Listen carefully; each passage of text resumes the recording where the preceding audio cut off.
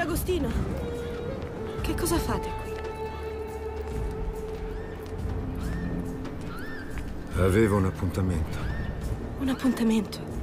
Con chi? Ogni anno questo giorno salgo quassù all'alba e osservo le cicogne migrare.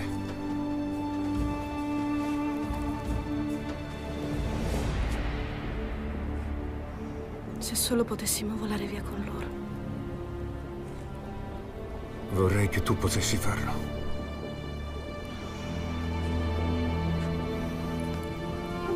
I vandali sono sempre più impazienti. Ormai non arriva quasi più cibo in città. Ci affameranno finché non avremo scelta. Che cosa possiamo fare? Questo non dipende più da noi.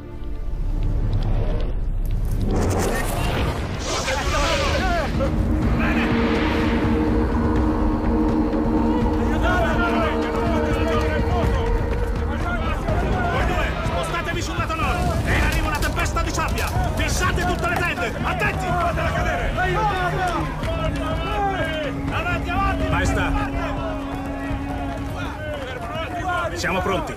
Gli uomini aspettano solo un vostro ordine. Alimentate i fuochi! Ippona ricordi che siamo qui! Poi, una volta passata la tempesta, attaccheremo!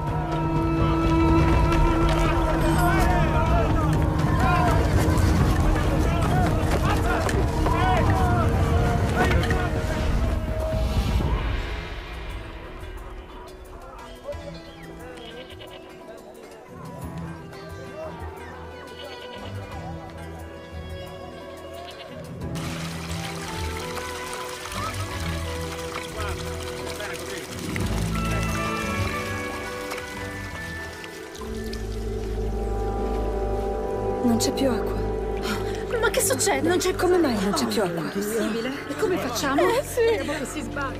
Non c'è più acqua! Oddio, non lo so. Resisteremo solo pochi giorni così. Andiamo a vedere. I vandali! Forza, corri! I vandali hanno bloccato l'acqua!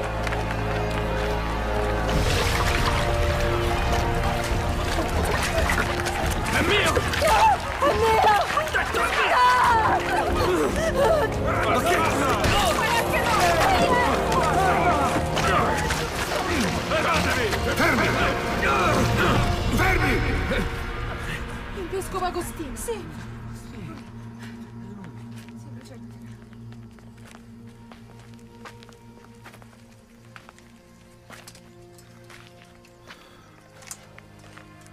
Che succede, Fulvio? I vandali hanno ostruito il passaggio dell'acqua. Dobbiamo prendere quella rimasta nel pozzo, o moriremo.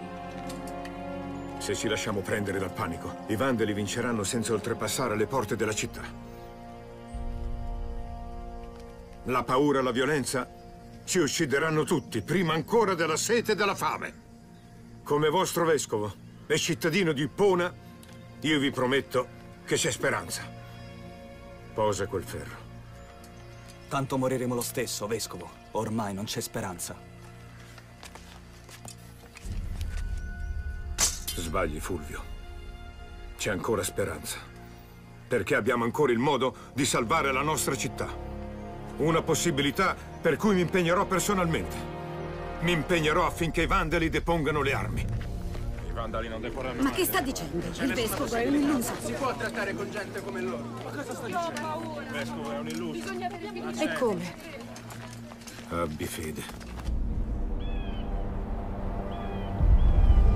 Guarda, soldati romani. Dio sia lodato. Vieni a vedere.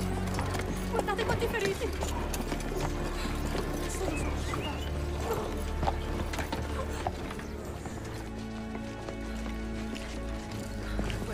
Portateli qui.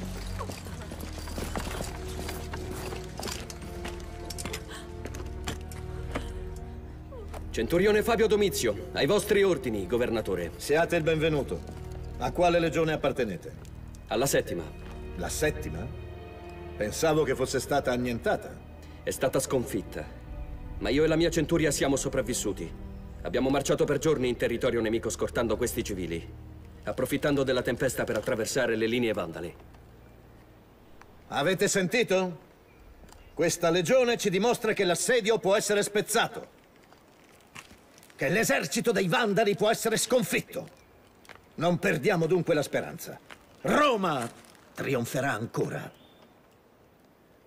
Se ti ostini a inseguire la vittoria militare, porterai questa città alla rovina. La vostra presenza a Ippona era l'unica cosa che mi tratteneva dal venire qui, Vescovo Agostino. Mi conoscete?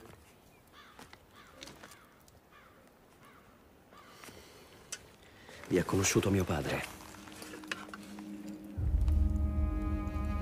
Tu sei il figlio di Lario.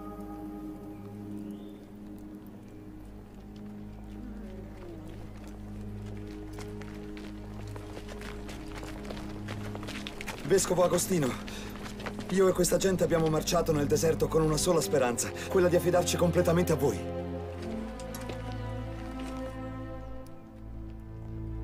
Portate i feriti nella basilica.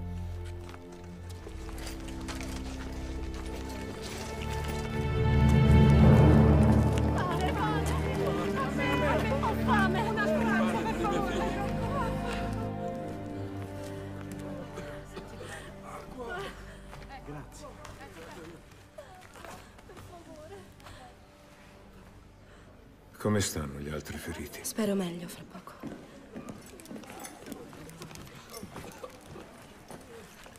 Nella basilica non si può entrare armati. Perché? È sacrilegio. Lucilla, lasciali entrare. L'unica cosa sacra qui dentro è la vita di questa gente. E a salvarla è stata questa spada.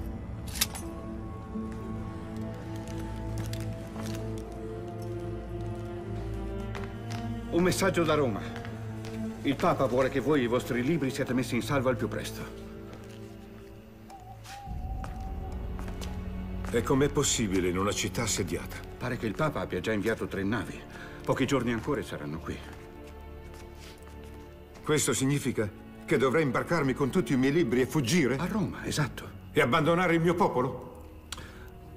È il Papa in persona che ve lo ordina. Ma sono il vescovo di questa città. Ma ormai questa città non vi merita più. Non avete visto cosa è successo ieri, quando è arrivata quella legione di Romani? È bastato per far pensare a tutti di non avere più bisogno di voi. Bisogno di me.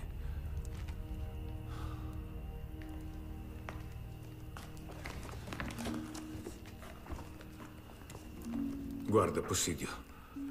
Questa è la tua calligrafia. Ma sono le vostre confessioni. Già, le mie confessioni. Fosse stato per me, anch'io sarei ancora nient'altro che un povero. Un povero presuntuoso convinto di non aver bisogno di niente, tranne che di me stesso. E se in me c'è qualcosa di prezioso, io lo devo soltanto a mia madre.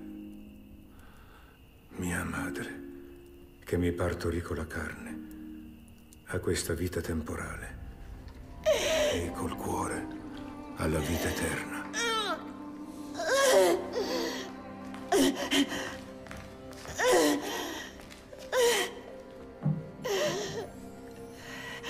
Continua a spingere.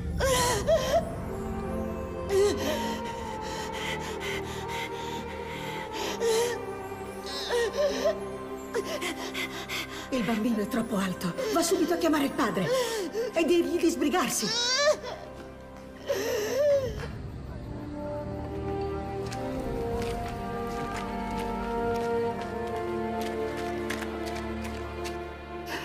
Non lo sento più muovere. Perché? Ascolta, voglio che ti prepari. Per cosa? Lo sai.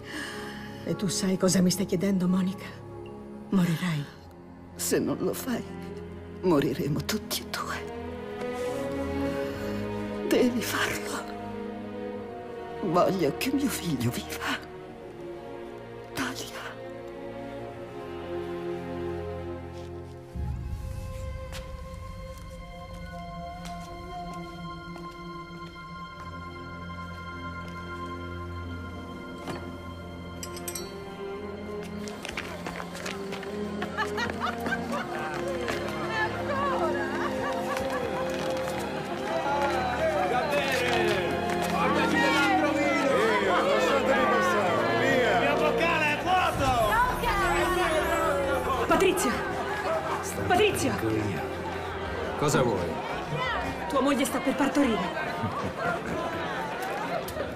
Vincendo. e lei sta morendo.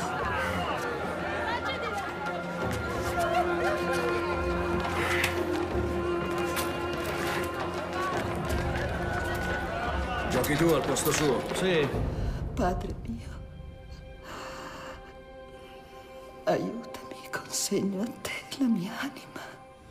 Aspetta, lo sento muoversi. Lo sento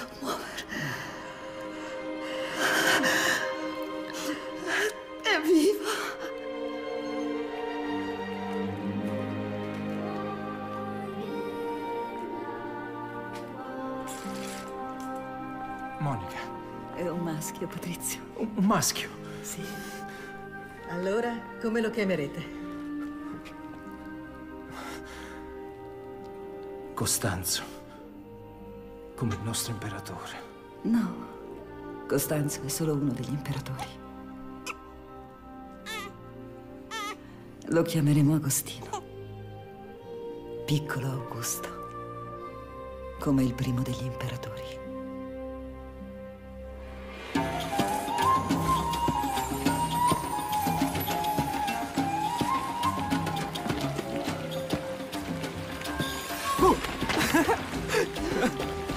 Agostino, mi è spaventato. Andiamo.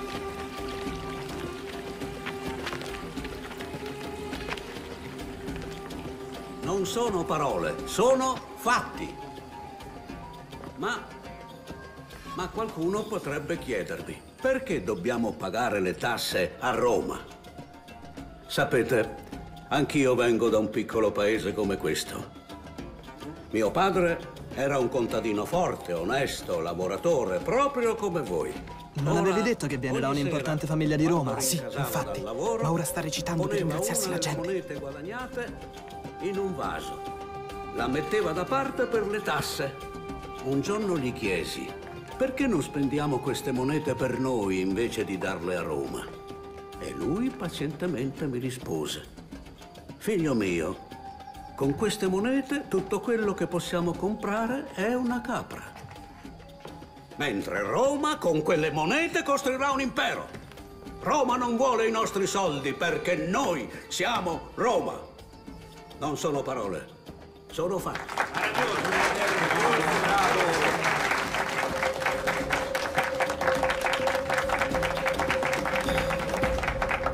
Voglio diventare come lui. Come Macrobio? Perché? Voi l'avete sentito? Lui con le parole può convincere la gente a fare quello che vuole. Non sono parole, sono fatti. Con quella lingua non farei fatica a diventare come lui. Ma se resto qui non avrò nessuna possibilità. E dove pensi di averla questa grande possibilità? A Cartagine. Voglio studiare con Macrobio. A Cartagine. Tu sei solo un ragazzo. Hai idea di quanto costi poter studiare con un maestro famoso come Macrobio? No. E voi? Certo.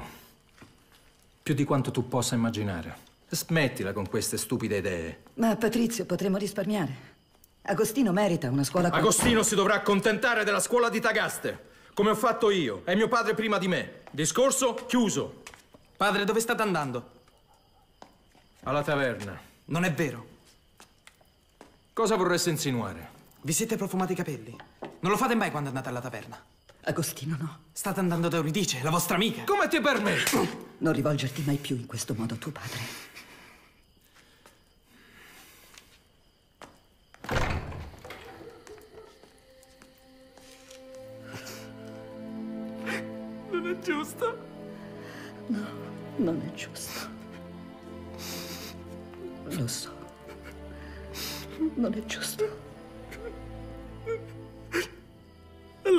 Non ne dite più niente, padre? Le parole non bastano a cambiare una persona. Neanche le tue. Cerca di capirlo, figlio mio. Figlio mio.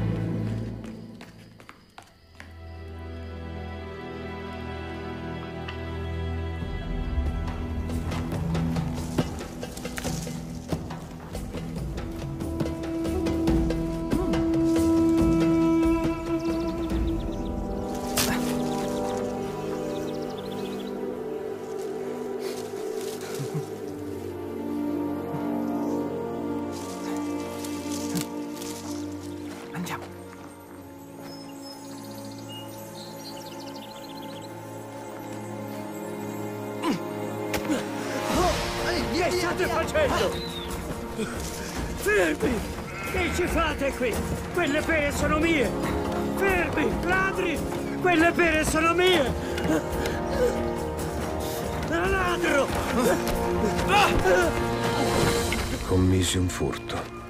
Rubai quello che avevo in abbondanza. E del resto non era per goderne che volevo rubarlo, ma per il furto stesso, per il peccato. Volevo fare una cattiveria gratuita, senza avere altra ragione d'essere malvagio che la malvagità. Ecco com'ero, un'anima vergognosa che stava per annientarsi. Ecco, tenete. Spero che bastino per i frutti che avete perso. Non ce n'è bisogno. I frutti ne rinascono uguali ogni anno. Sono i figli che se perdono la strada, allora sono persi per sempre.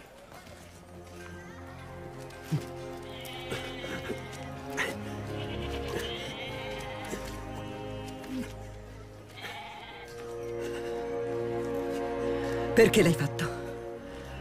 Rispondimi, perché l'hai fatto? Mi fai soffrire, Agostino. Io? Io vi faccio soffrire? Mio padre intendete dire. Mio padre vi fa soffrire. Si gioca quei pochi risparmi che abbiamo. Beve come una spugna. E sono anni ormai che vi tradisce. Lui vi fa soffrire, non io! Basta, non dire altro. Patrizio è quello che è. Ma tu, tu non sei come tuo padre. Ah no? Non sono così. Come dovrei essere allora? Devoto al vostro Dio? Una persona perfetta? No, non perfetto, solo... Se resta ancora qui, prima o poi diventerò proprio come mio padre. Immagino che tu non sia venuta solo per assaggiare il mio olio e complimentarti per la mia bella villa. O per parlare di mio figlio. Infatti, sono qui perché voglio parlarti di mio figlio, di Agostino. È ancora il ragazzo più intelligente della scuola. Oh, sì. Ma credo che gli farebbe bene andare via di qui. Vorrei mandarlo a studiare a Cartagine. Ha ascoltato Macrobio e ora vuole diventare un avvocato. Un avvocato. E come pensate di mantenerlo agli studi? Lo sai che non possiamo.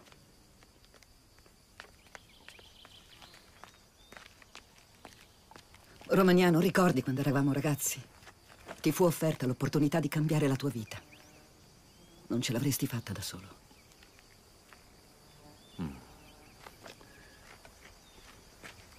Macrobio farà sicuramente di Agostino un valente avvocato. Muovetevi! Avanti, forza! Agostino! Cos'è questa? Tieni, è una tunica nuova. Indossala quando vai da Macrobio. E non sporcarla. C'è tempo da perdere! Sì, madre. Prendi questo. È formaggio di capra. Non puoi presentarti a mani vuote. Lo so. Stai attento. Cartagine è una Babilonia. Non bere troppo. Mi raccomando Sì, sì, ragazze. Devo andare. Che Dio sia con te, figlio mio! Dio! Grazie, mi basto io! Woo! Addio! Addio! Buon viaggio, Agostino!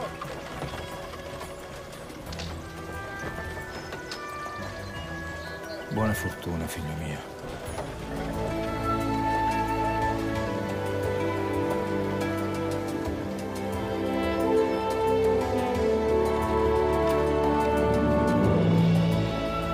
Di chi erano, se non di Dio? Le parole che mi risuonavano nelle orecchie per bocca di mia madre, a Dio fedele. Ma non mi scendevano in cuore. Nemmeno una ci arrivava per tradursi in fatti. I suoi mi sembravano consigli da donne che mi sarei vergognato di seguire. E invece erano di Dio. E io non lo sapevo. E in lei io disprezzavo Dio.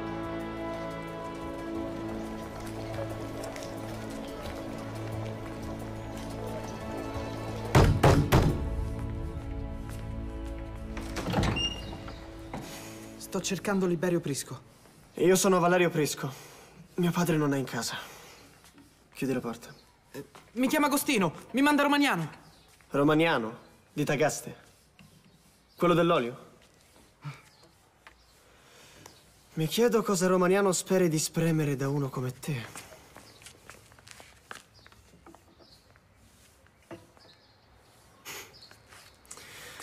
Entra.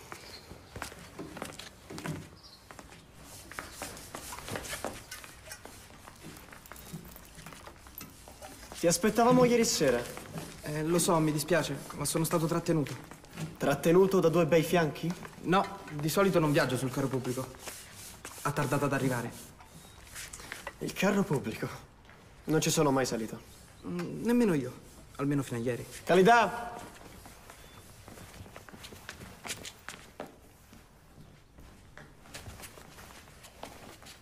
Questa sarà la tua stanza. Grazie, Valerio. Calidà sarà al tuo servizio. Viene dai grandi deserti. Gente molto affidabile. Due bei fianchi. Un buon modo per essere trattenuto.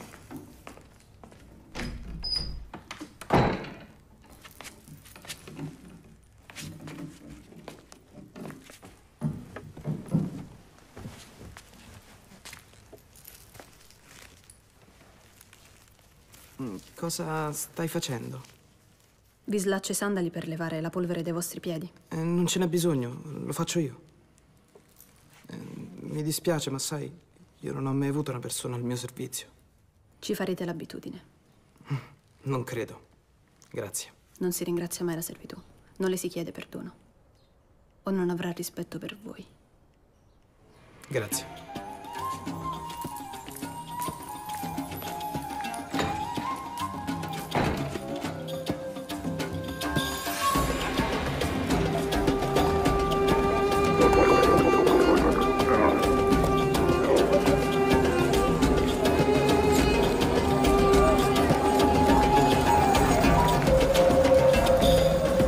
Quindi l'imputato è accusato di furto. Saranno sentiti oggi in aula i due testimoni. E comunque ci sono parecchie prove a suo carico. Non sarà un processo facile. Eccoci qua. Avvocato Macrobio, Sì. il mio nome è Agostino. Mi manda Romagnano. Ah, tu sei il giovane che vuole diventare avvocato. Eh sì.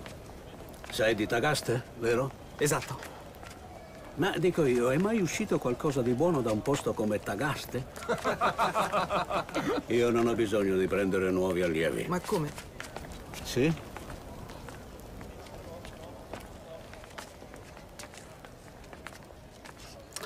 Ti prenderò soltanto se mi dimostri di avere abbastanza talento da meritarti un maestro come me. Come? Ecco, l'arte degli oratori è persuadere le persone a fare quello che vogliono, non è così? Allora convincimi a prenderti come mio allievo. Coraggio, ti ascolto. Io... Io vi ho visto... Non sei riuscito a convincermi. Torna a Tagaste, credimi, per il tuo bene.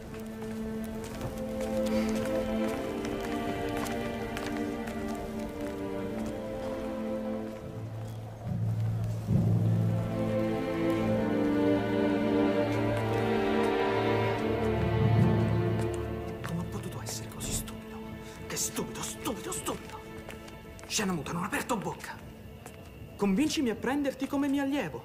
Certo che ti convinco, tornerò domani. Cosa credi che abbia paura? Che stupido, stupido, stupido! Dillo di nuovo. Avanti, prova a darmi di nuovo dello stupido. No, no, non mi riferivo a te, ma a me. Hai capito male? Ah, ho capito male, eh? Sì, no, voglio dire no, non Se intendevo... pensi che io non abbia capito, allora mi stai dando dello stupido. No, non capisci. Sono io lo stupido. Già. Sì, è vero, sei tu lo stupido.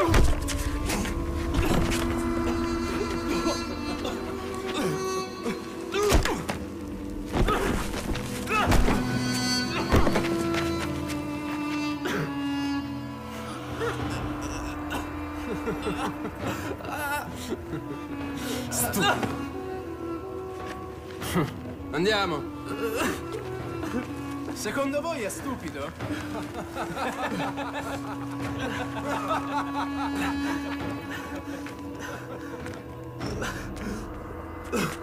Quelle bande di giovani aggredivano con prepotenza la timidezza dei nuovi arrivati e li spaventavano a furia di scherzi gratuiti, giusto per sfogare la loro maligna allegria. Niente è più simile alle azioni dei demoni. Agostino! Tieni a fare il bagno con noi. Agostino! Dai. Agostino. La tua è di gran lunga la maschera migliore. C'è niente da ridere. Mi hanno picchiato. Avresti dovuto lasciare che ti mostrassi io la città. Vieni. So io che ci vuole per le tue ferite, Agostino. Agostino, aspetta, Agostino.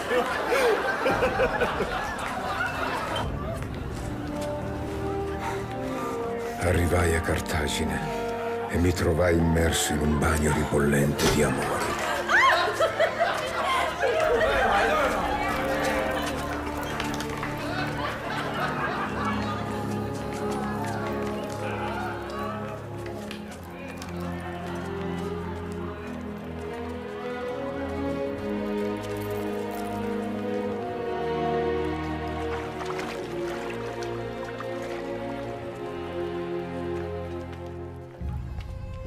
Fatto una gran figura alla festa ieri sera. Credo che questo posto non faccia per te, Agostino. Meglio se te ne torni a casa. Così almeno Romaniano capirà che da uno come te non c'è niente di buono da spremere. Che ne sai tu? Tuo padre è un uomo ricco. Hai tutto quello che vuoi. Dici che ho tutto, eh? Mio padre è molto ricco, vero? Lascia che ti dica una cosa, Agostino. Una cosa che non sa nessuno al di là di queste mura. La verità è che mio padre non esiste.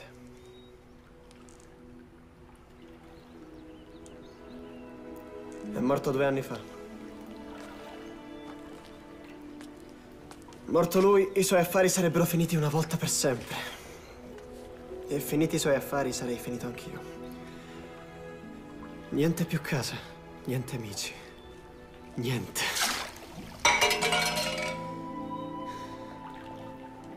Così l'ho seppellito in segreto, con le mie stesse mani. E ho continuato a portare avanti i suoi affari al posto suo. Una cosa è certa, nessuno mi ha mai dato niente. Tutto quello che ho me l'ho solo preso. Capisci, Agostino?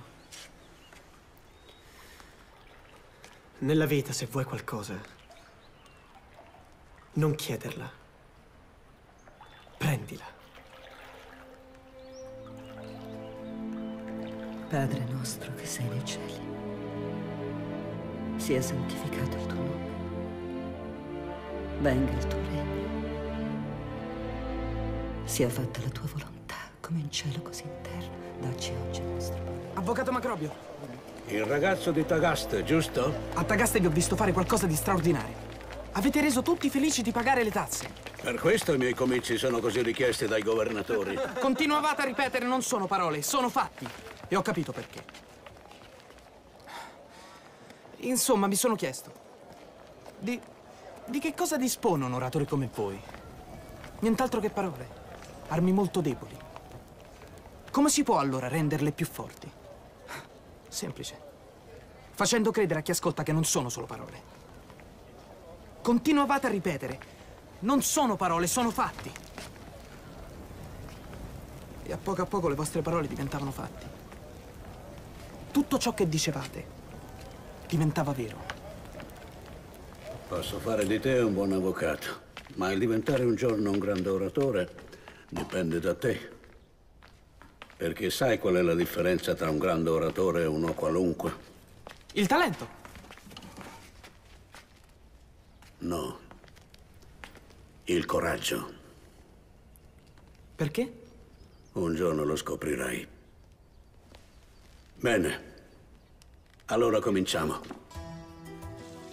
Uova sode, alici, carne rossa alla brace e una grande coppa di latte di capra. Muscoli. Devi metterti in forma. Un oratore deve emettere la nota possente di un corno e non il flebile mormorio di un flauto. Su, mangia.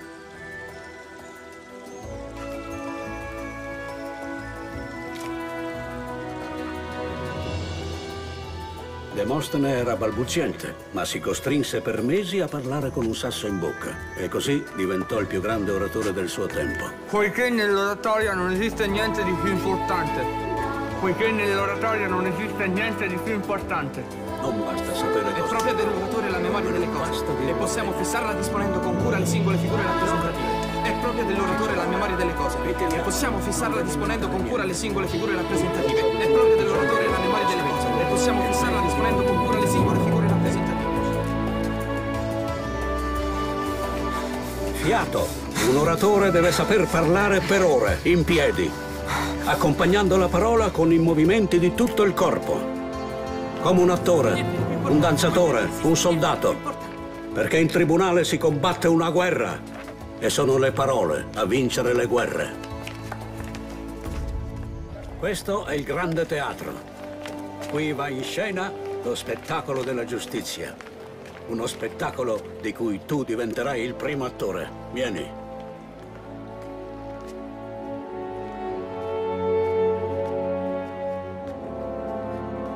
I testimoni accusano il mio cliente Getulio di aver tentato di uccidere sua moglie. I conoscenti riportano pettegolezzi su certe minacce di Getulio nei confronti della moglie. I magistrati sostengono di aver prodotto delle prove a carico di Getulio. Testimoni che accusano. Conoscenti che riportano. Magistrati che sostengono. Quante parole. Come posso pretendere che ora ascoltiate anche le mie? Ve ne hanno già propinate più di quanto il vostro stomaco possa digerirne. Facciamo così. Per una volta le parole mettiamole tutte da parte. Mettiamole da parte e prestiamo ascolto soltanto al nostro cuore. Poiché lì, e non qui dove si agitano gli avvocati, i magistrati e gli imputati,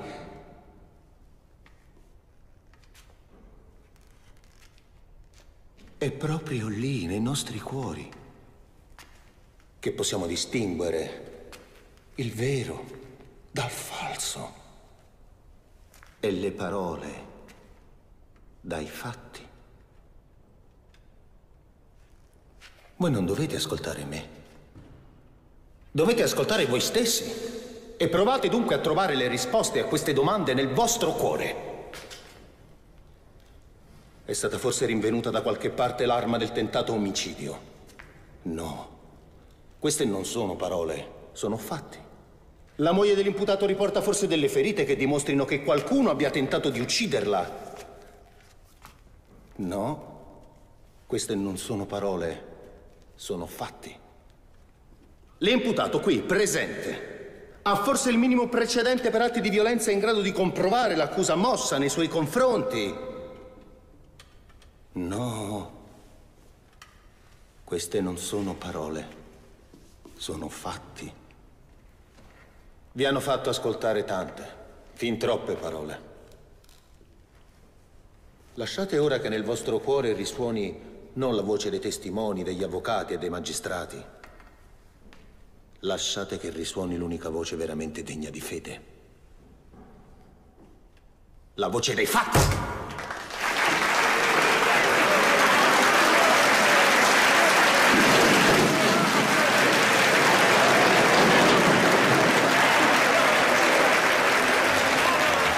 Discorso, convincente soprattutto. I miei studi ebbero sbocco nei tribunali litigiosi, dove la gloria è proporzionale all'abilità negli imbrogli. Ormai ero fra i primi e ne andavo superbo. Aspiravo ad emergere, col fine fatuo e deplorevole di godermi i fasti della vanità umana.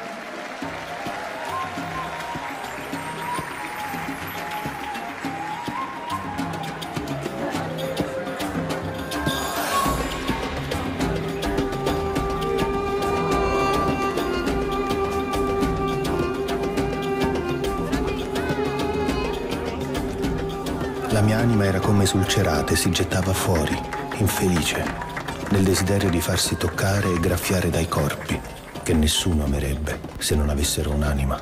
Amare ed essere amato mi era più dolce se possedevo anche nel corpo la persona amata. E così inquinavo la sorgente dell'amicizia con i veleni della passione. Agostino, ma dove sei finito l'altra sera? Ah, chiedilo a Criside, sono stato rapito da lei. Non ricordo più dove mi ha... Dove ti ha? Dove mi ha portato.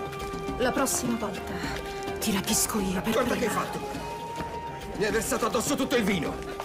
Questa tunica Mi dispiace. nuova. Ti ero scrupata a Roma, non è non successo fatto. niente, su, lascia stare. Ascolta, non mi hai ancora detto se ti è piaciuta la mia ringa, Valerio. Come sempre, quante cause hai vinto finora? Eh, ho smesso di contarle. Questa casa e questa città sono troppo piccole per te, Agostino. Tu adesso meriti Roma. Guarda, mi sono fradicio. Questa non la passi liscia, capito? Agostino, ieri sera hai dimenticato questo a casa mia. Ah, il mio bracciale. Contavo di passare a riprenderlo.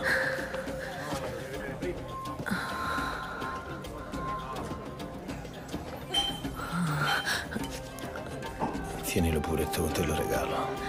La prossima volta che passerai da me non avrò che quello addosso. Me lo riprenderò lo stesso. Agostino, vieni. Servi da bere al nostro avvocato di spicco. Quello della vittoria è l'unico sapore di cui non ci si stanca mai. Soprattutto in un caso come quello di oggi.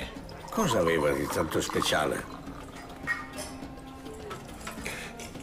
Riuscire a far credere a tutti che Getulio fosse innocente è stato davvero esaltante. Ma è terribile, la verità non conta più. La verità, noi non ce ne siamo mai preoccupati. L'unica verità è quella di cui oggi Agostino è riuscito a convincere il giudice e il pubblico in aula.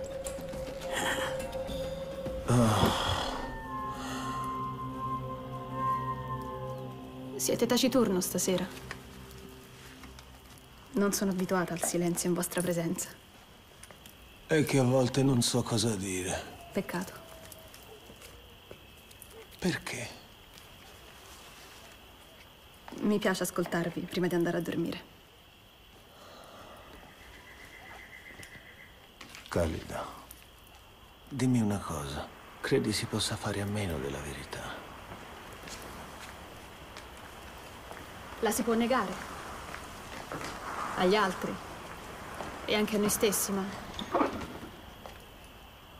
Ma Ma la verità è più forte.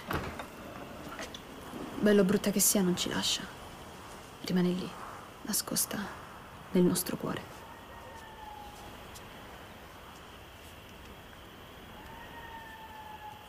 e quale verità nasconde il tuo cuore?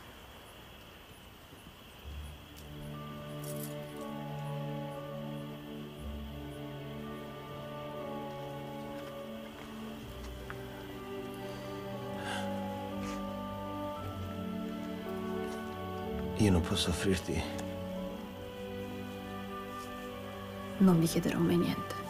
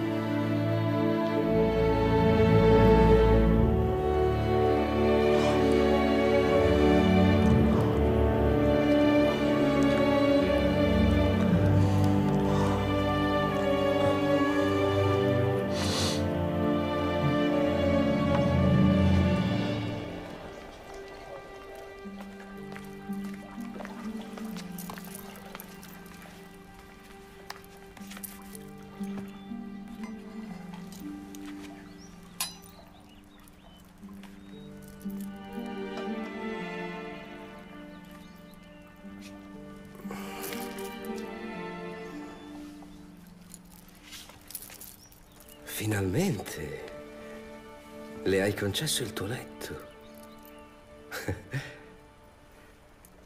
ha servito te prima di me. Eppure sono io il padrone di casa, ma ora è a te che lei sente di appartenere.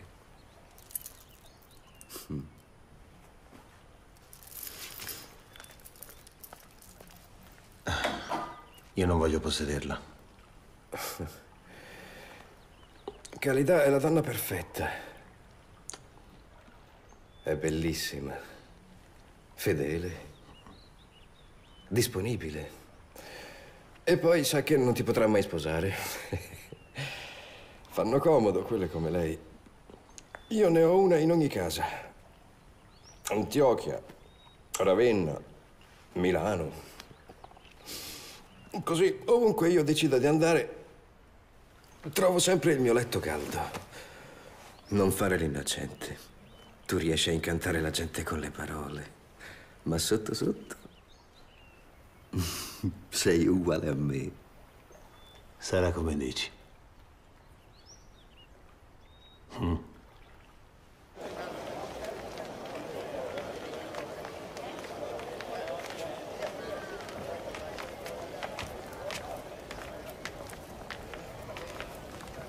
Agostino! Camillo, cosa fai qui? Dov'è tuo padre? Agostino!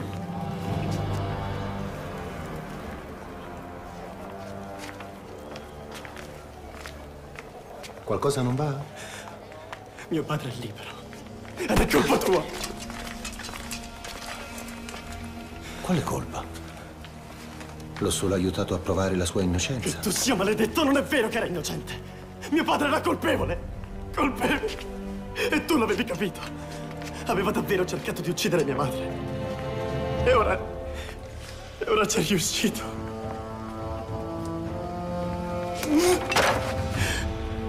Mia madre è morta. Ed è colpa tua.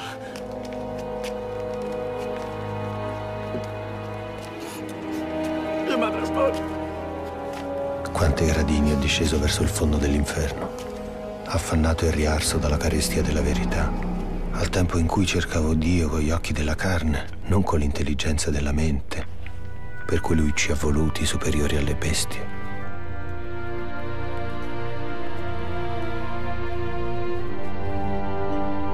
E non venite a dirmi che la verità non esiste.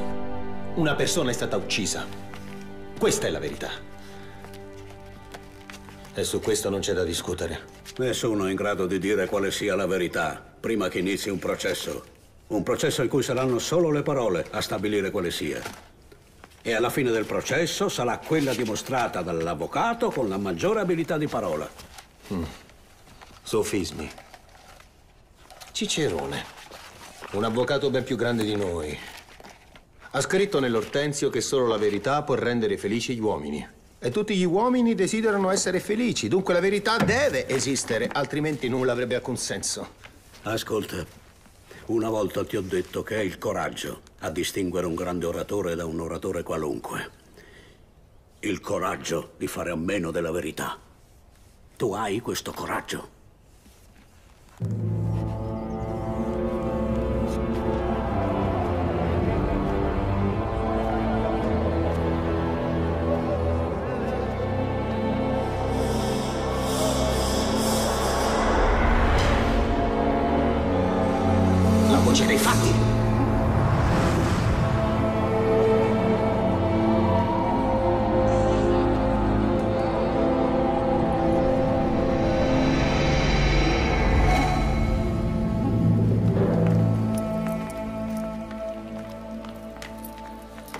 Agostino.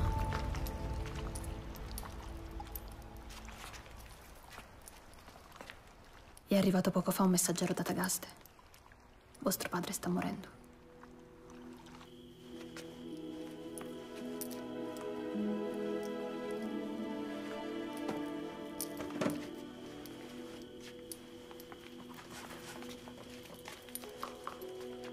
Volete portare anche questa?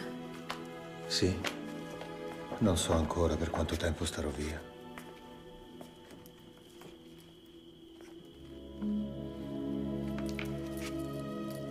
Dovrebbe esserci tutto allora. Calidà.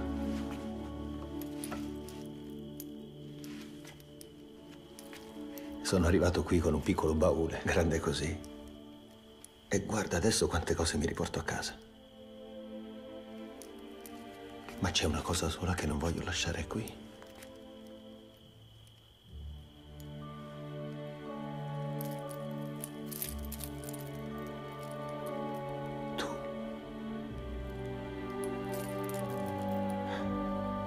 Vieni con me. So che non potremo sposarci, ma saremo lo stesso, una cosa sola. Verrò con voi. Anche se non potrò mai essere vostra moglie. Vi prego solo di una cosa. Non chiedetemi mai di dividervi con un'altra donna.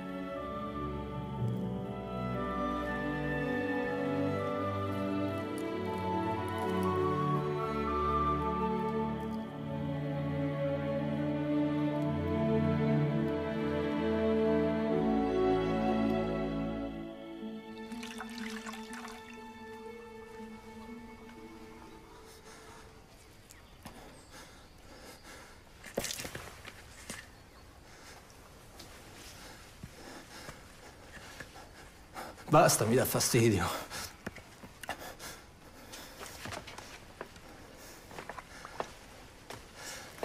E apri quelle tende. Non sono ancora morto.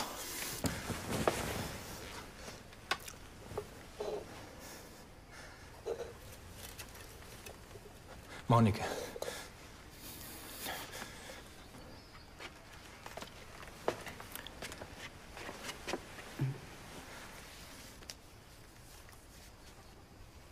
Sono stato un uomo terribile, vero? Sei stato. Lo sei ancora. Come hai fatto a starmi accanto tutti questi anni? Ho imparato a perdonarti e a amarti per quello che sei. Perché ho capito soltanto adesso cosa significa amare. Ho paura di quello che verrà. Non voglio più essere l'uomo che sono. Voglio essere battezzato.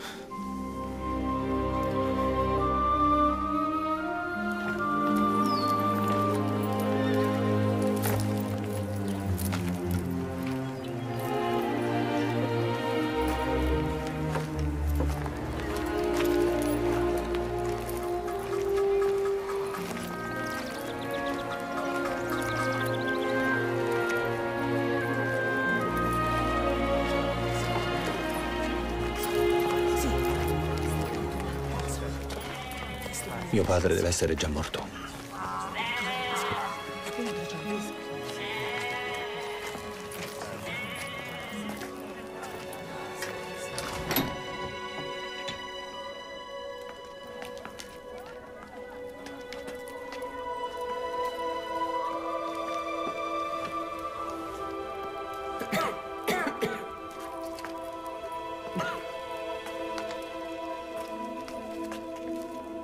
Tu credi in Dio, Padre Onnipotente? Credo.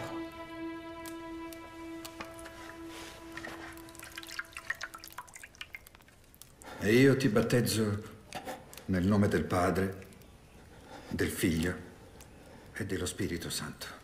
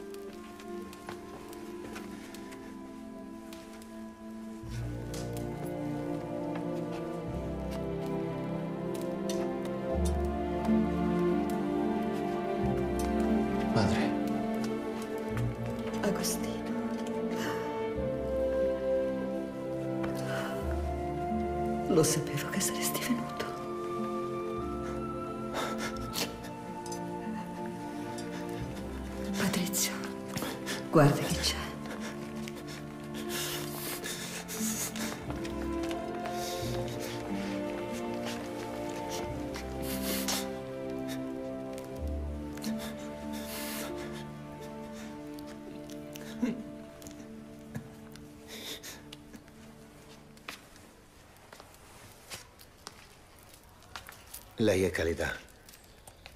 Lei è... è- Una serva. Sono una serva di vostro figlio. No, è un'amica. Un'amica? Esatto. Da Cartagine. Vengo non da- proprio. Viene dalle terre del sud, dai grandi deserti. Ah, vi porto un po' di minestra.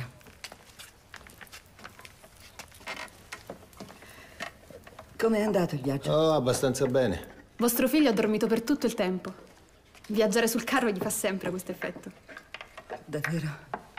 Questo non lo sapevo. Tuo fratello e tua sorella saranno qui tra qualche giorno. Hai saputo che si è sposato? Sì, ho saputo. E io invece ho saputo di Getulio. Ne parlano tutti qui a Tagaste. Tu e Macrobio l'avete fatto assolvere, non è così? Sì? E dimmi, è davvero colpevole di omicidio come tutti dicono che sia? Beh, dipende. Se potrà permettersi di nuovo Macrobio sarà innocente. Ma come parli, Agostino? Un uomo è innocente o è colpevole? Madre, un uomo viene dichiarato innocente o colpevole dalle parole dette in tribunale. Le parole non possono cambiare i fatti. Ah, no? Allora neanche le vostre formule magiche li cambiano. Di quali formule magiche parli? Di quelle che il vescovo ha pronunciato davanti a mio padre. Nemmeno quelle possono cambiare i fatti. E quali sarebbero i fatti, secondo te? Che è sempre stato un farabutto. Un vigliacco. Se si è fatto battezzare solo perché ha paura. E questo neanche il battesimo può cambiarlo. Ma cosa vuoi saperne tu? Che ne sai tu del battesimo? Che ne sai di tuo padre? Della nostra vita qui, mentre tu te ne stavi a sproloquiare presuntuosamente nei tribunali di Cartagine e a passare le notti con questa povera ragazza che stai solo illudendo. Dimmi, che ne sai tu di tutto questo? Avete ragione, cosa ne so io? Dopotutto questa non è più casa mia.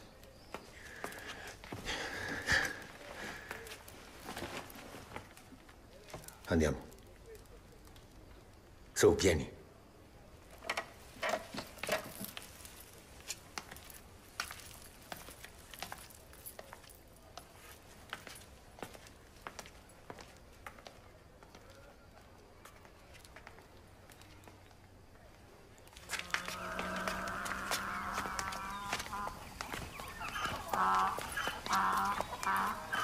Agostino, felice di rivederti.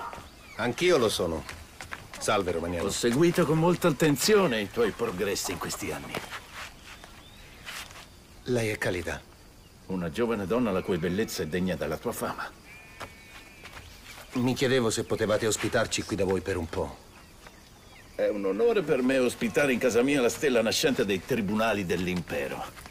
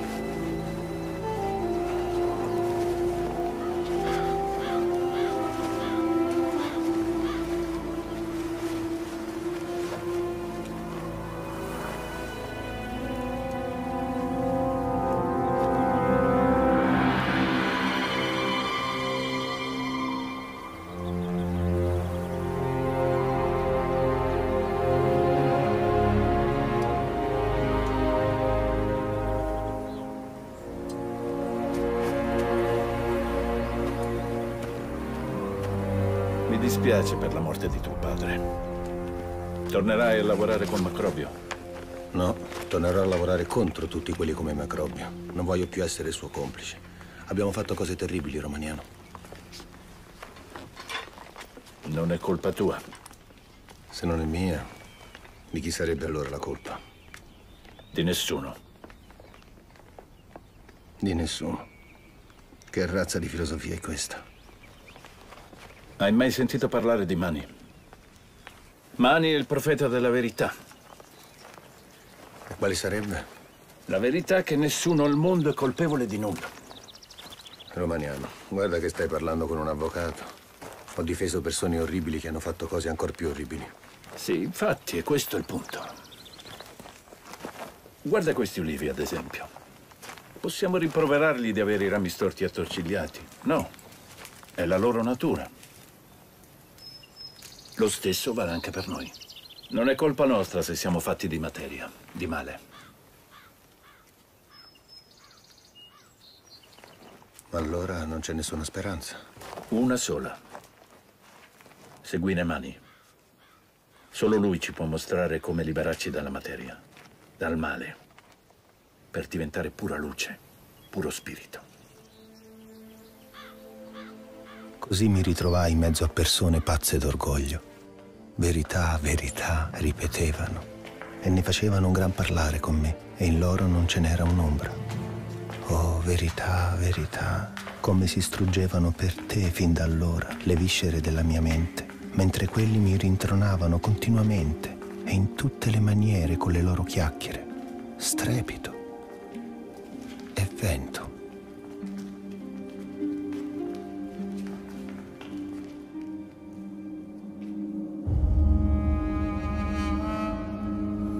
Si sta perdendo. Vive con una donna che non potrà mai sposare. Ha abbandonato la sua carriera e ora è entrato a far parte di una setta eretica. È tutta colpa mia. Non avrei mai dovuto mandarlo a Cartagine. No, Monica. Hai fatto ciò che ritenevi giusto per lui. Adesso l'ho perso. Dio permette che ci perdiamo perché ci si possa un giorno ritrovare. Ora cosa posso fare? Io... Prega, Monica. Il figlio di così tante lacrime non può andare perduto. E gli animali, e i variopinti uccelli, e quanti sono nell'acque vaste, e limpide e viventi. Concentrati. Vai. Era la notte e Placido... E Placido... E placido sopore, licenzia. Era la notte e placido. E Placido sopore.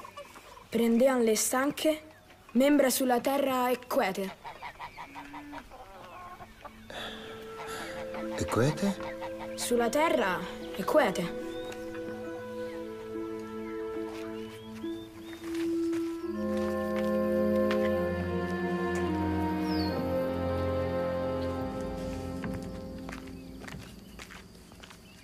La cena è pronta. Vi ho preparato qualcosa di speciale. Perché? Per farvi piacere. Non c'era bisogno. Io invece penso di sì. Per ricordarvi che anche voi lo siete. Cosa? Speciale. Questo lo so. Non ho bisogno che tu me lo ricordi. Io non devo dimostrare niente a nessuno.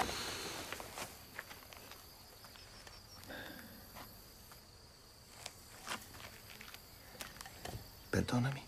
Non si ringrazia mai la servitù, non le si chiede perdono. Ve l'ho detto fin dal nostro primo incontro. Tu non sei una serva per me. Questo nemmeno le parole lo possono cambiare.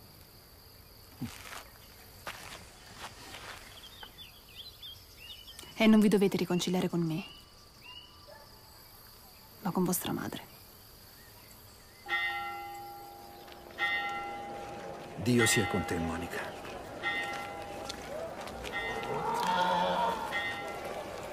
Agostino, Vi stavo aspettando. sono felice di vederti. Come state?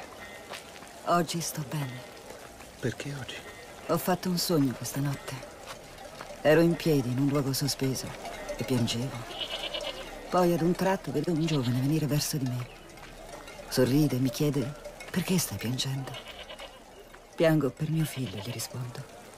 Allora mi guarda e dice, guarda bene Monica, non vedi che anche lui si trova dove ti trovi tu? Così mi volto e vedo te, nello stesso luogo, proprio accanto a me. Un giorno io e te saremo uniti nella fede. È questo il significato del sogno. Ed è per questo che oggi sto bene. Allora presto diventerete anche voi una manichea. No, quel giovane non ha detto dov'è tuo figlio, sei anche tu. Ma tuo figlio è dove tu sei. Io sto bene dove sono. Stai sprecando il talento che Dio ti ha donato. Dio non... Che c'entra Dio? Io oggi sono quello che sono perché me lo sono guadagnato. L'uomo non si può creare da solo, come non potrà mai essere in grado di bastare a se stesso. Questo lo dite voi, madre. No, è il nostro cuore a dirlo. Sono i vostri preti che ve lo fanno credere. I vostri preti vi fanno credere che avete bisogno di Dio. Ma dov'è questo Dio? Non lo potete vedere, non lo potete sentire. E così, guarda caso, siete tutti costretti a chiedere aiuto. E a chi? A loro, ai preti.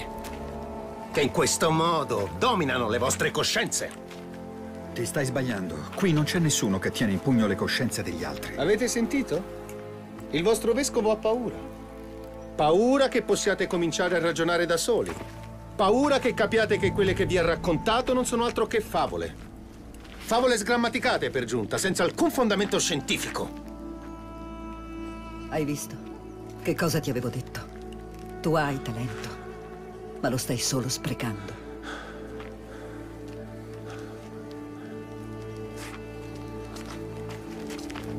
Entriamo. Prego, venite. Crediamo che per te sia giunto il momento di entrare a far parte degli eletti.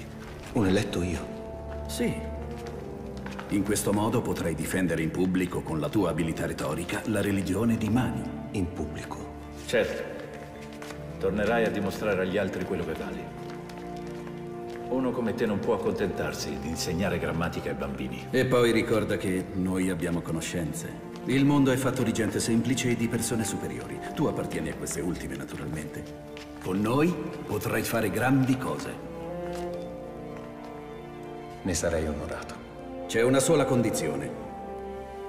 Gli eletti sono chiamati al celibato. Dovrai porre fine alla relazione con la tua compagna.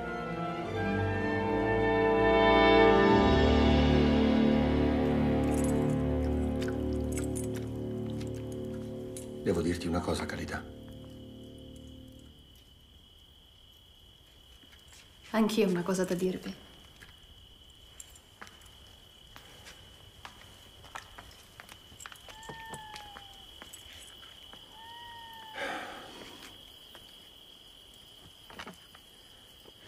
Oggi...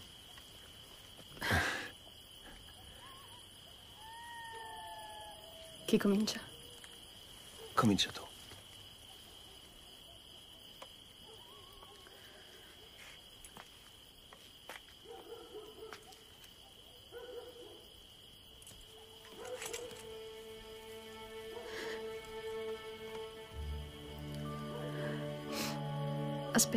Un bambino.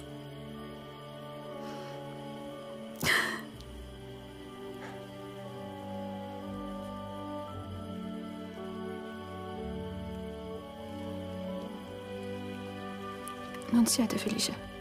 Ma certo.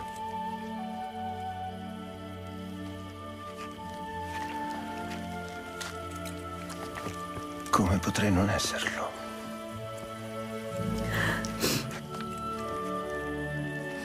Voi?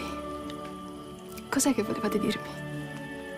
Niente di importante, solo che ho trovato una traduzione completa dei discorsi di Socrate, ma costa molto. Volevo parlartene per sapere cosa ne pensi, ma ora che aspettiamo un figlio. Credo sia meglio risparmiare. Siete sicuro? Mi dispiace No, che no, no, dobbiate No, no, non ti preoccupare. Un figlio è più importante.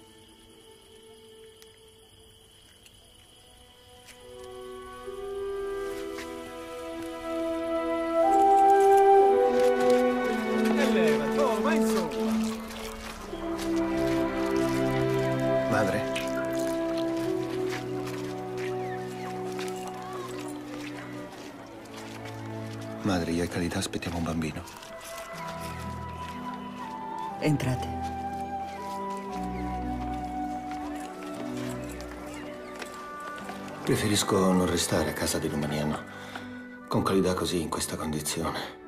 Se potessi accoglierci con voi, io... io... noi ve ne saremmo infinitamente grati.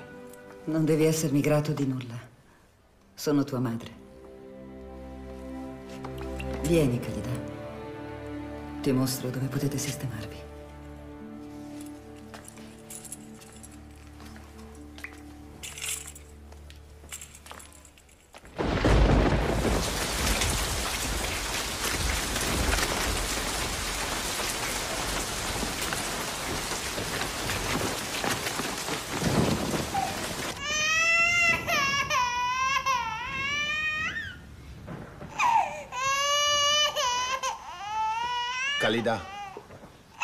Khalida.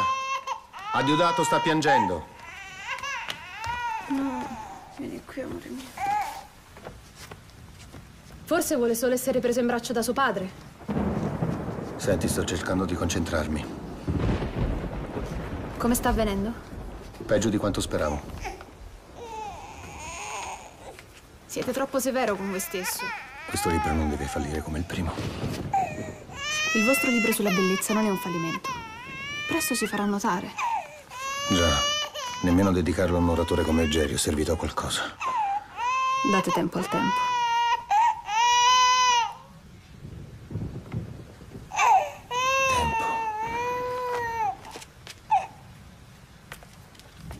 Alla mia età Cicerone era già questore e aveva già scritto numerose opere che vengono studiate addirittura ancora oggi. E bambini?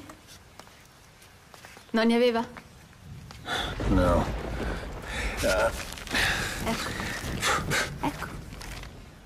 Voi invece avete già un figlio bellissimo. Cicerone aveva successo. E io un figlio. Agostino. C'è qualcuno che vuole vederti.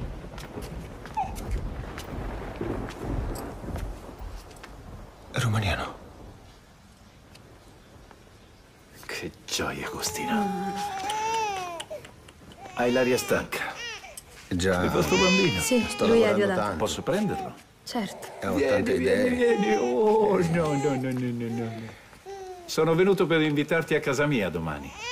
A casa No, vostra? no, no, no, no, no, no. Sei ancora un ospite molto gradito. Sentite, io sono ancora dispiaciuto per aver rifiutato la vostra offerta di diventare un eletto. L'hai dimenticato? Nessuno è colpevole di niente. Incontrerai anche un tuo vecchio amico. Agostino! Valerio! Cosa ci fa un pezzo grosso come te a Tagaste? Potrei farti la stessa domanda. Vi prego, sedete. Allora, dimmi, dove vivi adesso? Ad Antiochia? Ad Aquileia? A Treviri? A Roma. Lavoro per Quinto Aurelio Simmaco, il prefetto. Lo conosci? Chi non conosce il più grande oratore dei nostri tempi? Infatti dovresti sentirlo parlare. Quanto tempo impiegherai a prendere il suo posto? Poco, se volessi, ma in realtà ho in mente un piano ben più ambizioso. Valerio è qui per farti una proposta molto importante, Agostino.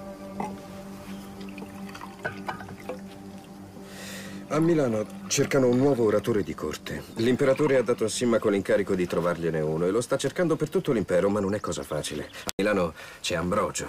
È uno dei vescovi cristiani più molesti di tutto l'impero. È un politico astuto e abile con le parole. Simmaco vuole che il nuovo oratore lo contrasti. E per questo mi sei subito venuto in mente tu. Sei un oratore eccezionale e mi hanno detto che odi i cristiani. Sarebbe una grande opportunità per te, Agostino, e per l'intera comunità manichea. Non dirmi che sono venuto fin qui per niente. La mia famiglia è qui. Una vecchia madre e una schiava come concubina? È questa la tua famiglia? Ho anche un bambino. E loro sono tutta la mia vita.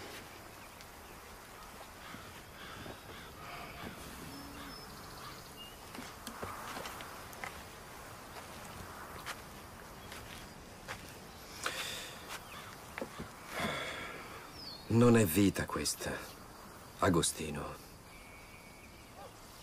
Ricordi ancora i nostri sogni? i nostri progetti? Mm? Tu hai solo paura, tutto qui. Paura di non essere all'altezza dei tuoi sogni, delle tue ambizioni. La prima volta che ti ho visto mi sono chiesto cosa ci volesse spremere da te il romagnano. La macina dell'olio pressa l'oliva. Ma se l'oliva non passa sotto la macina, non si potrà mai sapere se darà olio, Olio prelibato, prelibato, certo. o semplice morchia. È la nostra ultima occasione.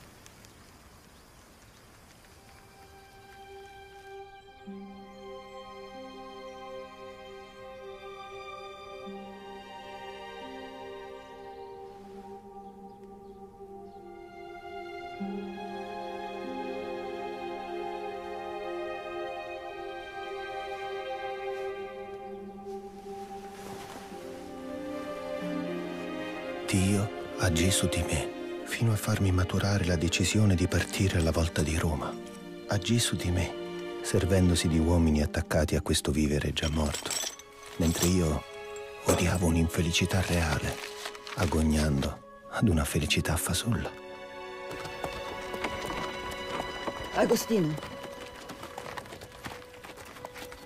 Ma dove stai andando? A Cartagine. A Cartagine? Sì, accompagno Valerio. Deve imbarcarsi per tornare a Roma. Cosa credevate? Che me ne andassi senza dirvi niente? Avrei dovuto. Che cosa pensavate? Tornate a dormire. Devo andare, Valerio mi sta aspettando. Buon viaggio, figlio mio. Tra un paio di giorni sarò di nuovo qui.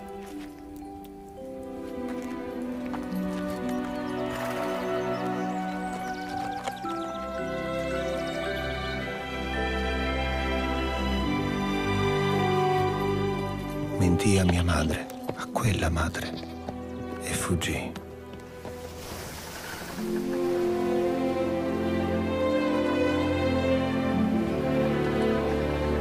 Il vento si levò e ci gonfiò le vele, e Lido scompariva ai nostri occhi quel mattino, quando lei, pazza di dolore, tempestava Dio di lamenti e gemiti. Non sapeva quali gioie tu le avresti fatto nascere dalla mia assenza, e perciò, dopo aver maledetto la mia crudeltà, ricominciò a supplicare Dio per me. Perché? Perché?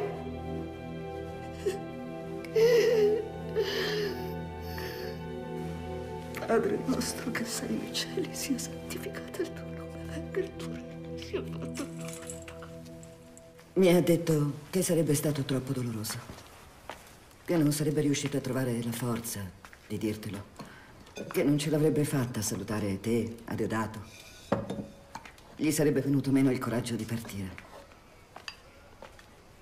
Tieni, siedi. Comunque ha promesso che tornerà presto. Oppure farà in modo che noi tre possiamo raggiungerlo. Eh?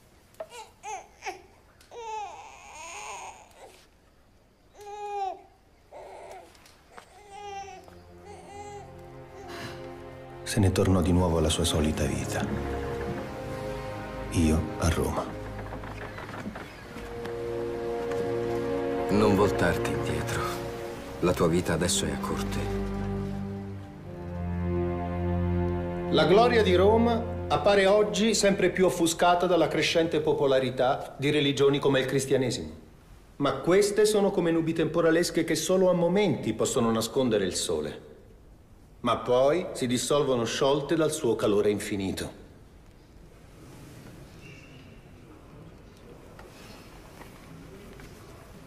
Un discorso discreto nel suo insieme. Peccato per quel vostro leggero accento africano. Dovreste correggerlo. Vi ringrazio del consiglio. Nobile Simaco. Potete andare.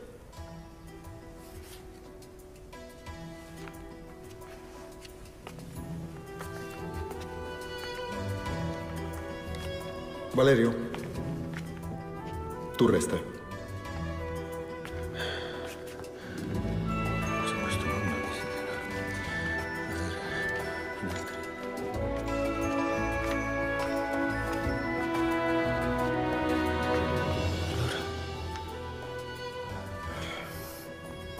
Prepara i bagagli, andiamo a Milano. tu sei il nuovo oratore di corte. Il fatto che abbiano deciso di risiedere a Milano invece che a Roma fa capire quanto sia stato misero il livello degli ultimi imperatori. Sono stati imperatori soldati che hanno scelto Milano perché è più vicina ai confini con i barbari. Appunto. Eccolo qua. Il palazzo dell'imperatore. Avresti mai pensato di arrivare fin qui?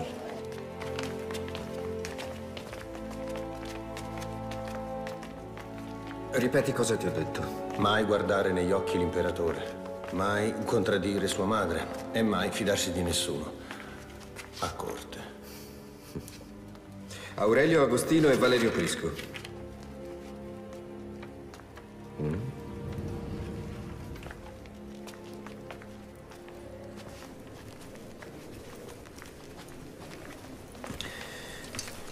Venite. Ah, mi raccomando, butta lì qualche complimento a Bautone.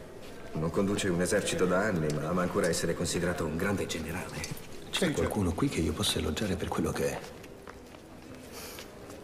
Sì, lei. Blesilla. Blesilla! Valerio, sei tornato finalmente. Come avrei potuto resistere più a lungo senza vederti?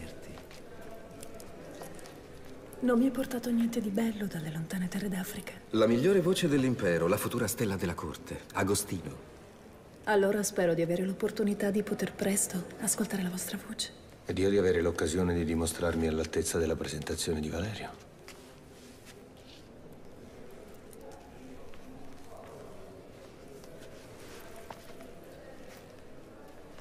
Blesilla. Potere a parte. Non esiste cosa più desiderata di lei a corte. L'imperatore Valentiniano! Ascolta, non ci si presenterà più un'occasione come questa. L'imperatore si è appena insediato. Tutte le cariche più importanti a corte devono ancora essere assegnate. Con la tua retorica e la mia esperienza possiamo scalare la vetta dell'impero. Sei con me?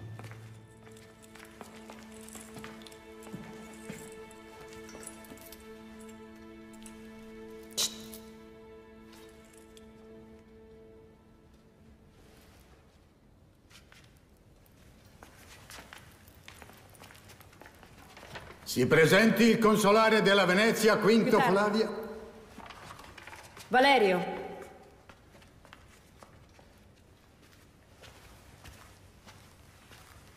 Hai portato con te il nuovo oratore di corte? Sì, imperatrice madre. Aurelio Agostino di Tagaste. E questo Agostino di Tagaste sa cosa vuol dire essere la voce dell'imperatore? Sì, imperatrice madre. Ed egli sa che la sua voce sarà ascoltata e rispettata da tutti i sudditi dell'imperatore? Egli sa soprattutto quale voce i vostri sudditi non devono ascoltare, imperatrice madre. Quella del vescovo Ambrogio, che pretende di essere più ascoltato del nostro imperatore. Perciò, maestà, se volete che l'imperatore sia più ascoltato del vescovo, dovete farlo parlare attraverso un oratore più abile di lui.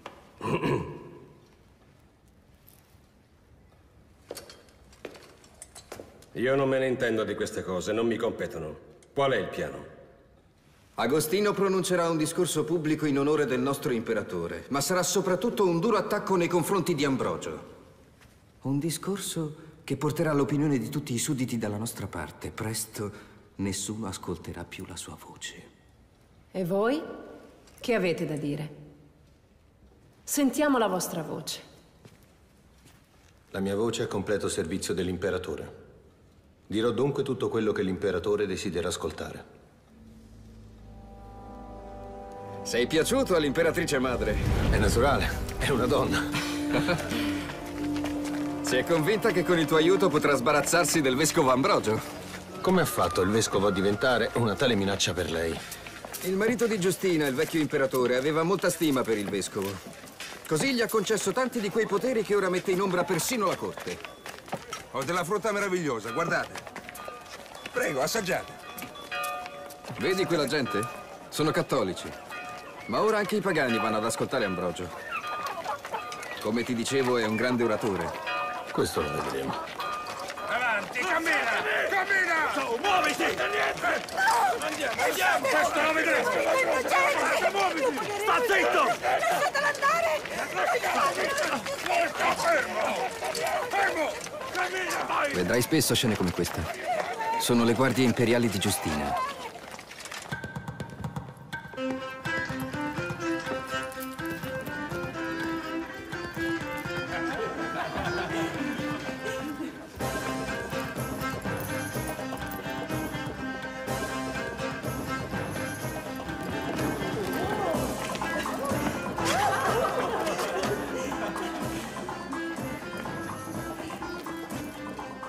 Siete l'unico a non ridere, Agostino. Sto osservando l'imperatore. Sto cercando delle idee per il discorso che devo tenere in suo onore. Vi conviene lavorare di fantasia. La fantasia è solo un'altra forma di bugia. Infatti, la bugia si camuffa con molti nomi. Falsità, invenzione, favola. Ecco perché la trovo così divertente. Molto spesso deludente. È proprio per questo che abbiamo bisogno di artisti come voi.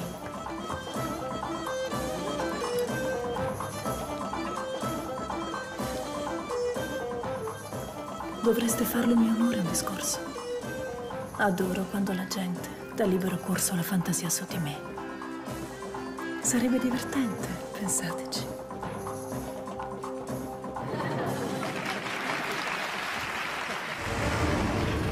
Non potete entrare.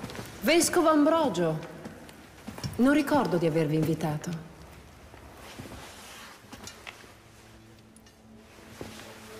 Sono venuto qui per chiedervi qualcosa di più importante di un semplice invito.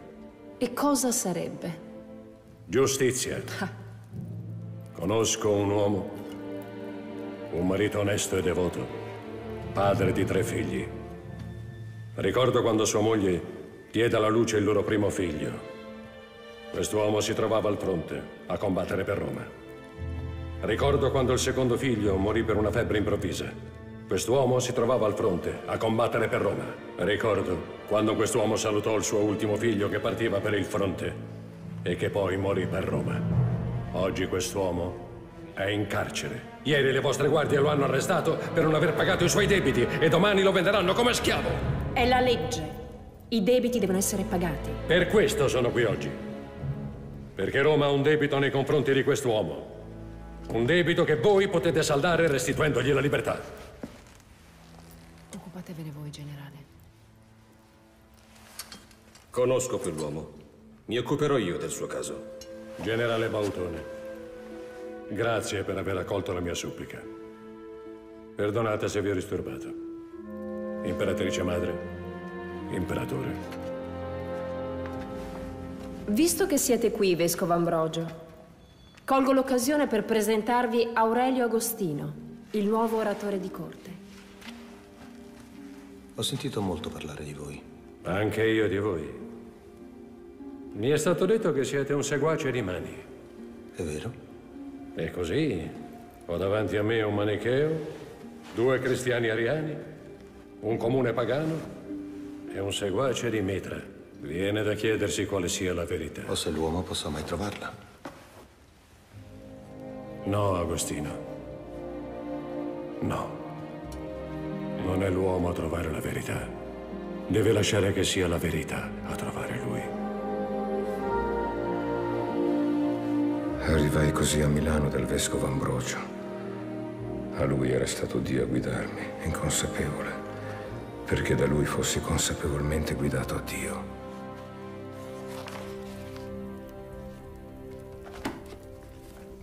Capisci, Possidio? Già una volta mi sono imbarcato per Roma e ho rischiato di perdere me stesso. È necessario che faccia la stessa cosa? Ma questa volta è il Papa che vi ordina di andarci. Per salvarvi.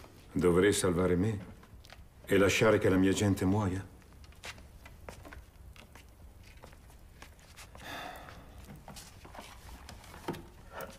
Sai, ieri mattina ho guardato le cicogne migrare. Come le ho invidiate. Loro sanno sempre quando partire e in quale direzione andare. Per noi invece È così difficile capire che cosa voglia Dio da noi.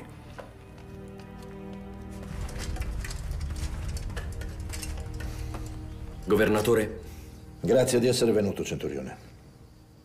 Ho parlato con gli ufficiali della guarnigione della città. Sarebbero felici di mettersi ai vostri ordini. È per me un onore, ma credo che sappiano meglio loro di me come difendere Ippona, governatore. Può darsi, ma chi ha parlato di difendere? Io sto parlando di attaccare. Con voi al comando, i nostri soldati potranno spezzare finalmente l'assedio e liberare Ippona. Ci sono decine di migliaia di vandali. I numeri non importano, l'impero di Roma ha sempre vinto contro eserciti più grandi. Ora che i vandali credono che siamo sul punto di cedere, una nostra vittoria su di loro ribalterebbe la situazione. Io sono il governatore di tutta la provincia e potevo essere a Cartagine adesso, al sicuro. Invece sono venuto qui poco prima che arrivassero i vandali e sapete perché? Perché sono sempre stato convinto che la nostra controffensiva sarebbe cominciata da Ippona. Ricacceremo quel branco di barbari da dove sono venuti, salveremo il nostro impero. Pensate agli onori che vi saranno tributati. Penso agli uomini che perderemo. No. Pensate piuttosto ai civili che saranno salvati dalla vostra spada.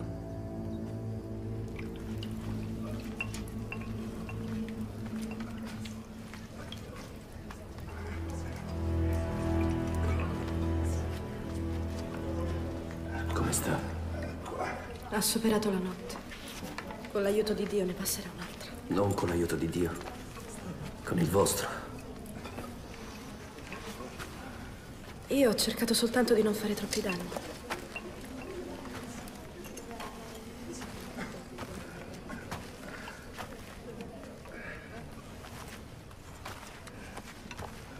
Quanti di loro potranno tornare a combattere? Combattere. Allora tanto valeva lasciarli morire. Avete ragione.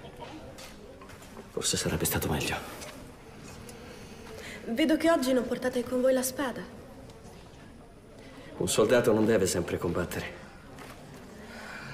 Allora vi supplico, non fateli combattere. Lasciateli vivere. La domanda è questa. Devo lasciare che i miei uomini vivano e far morire la città? O lasciare che muoiano per far sì che la città viva?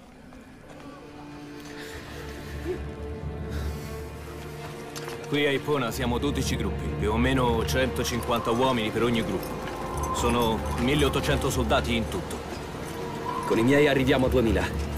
Sono ancora troppo pochi. Quanti sono i civili in grado di combattere? Direi almeno... almeno 5.000 uomini. Arruoliamoli. Servono più uomini su questo lato. Giù in fondo, là e qua davanti. Andate. Portate via queste stuoie.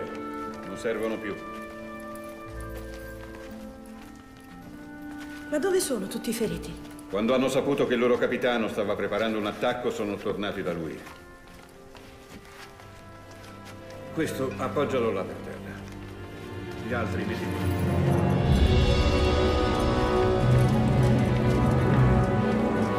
Allora, la cintura d'assedio dei Vandali è disposta in questo modo. E noi li attaccheremo nel loro punto più debole. Qui. Ma quello è il punto più lontano. Esatto. È proprio lì che non si aspettano di essere attaccati. Quella sarà la posizione migliore per prenderli alle spalle.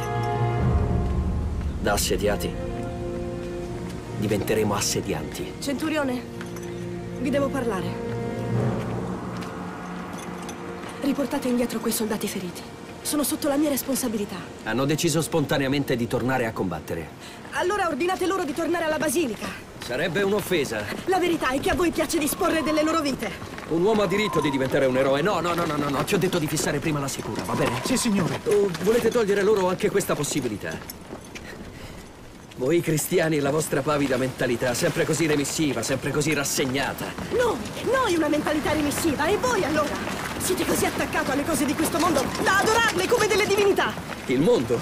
Voi nemmeno lo conoscete il mondo. Sempre attaccata alla veste del vostro adorato vescovo. C'è sicuramente molta più vita accanto a lui che, che in qualunque altro posto al mondo. Vita. E voi la chiamate vita, questa? Ma certo che lo è. Voi non lo sapete cos'è la vita. Non avete mai visto il sole tramontare lento sul campo di battaglia. Ho bevuto acqua di sorgente con le mani in mezzo al deserto. Non avete mai assaporato un pezzo di frutta fresca dopo aver trascorso intere settimane in alto mare? Voi non...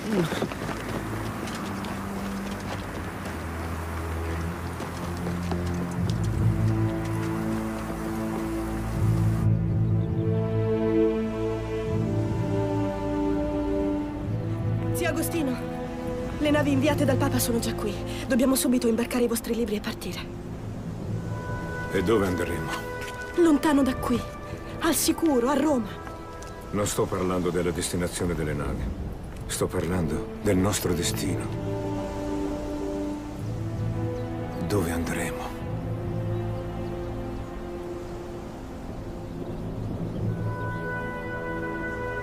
Io dove andrò? Se abbandono sotto assedio la città che Dio mi ha affidato.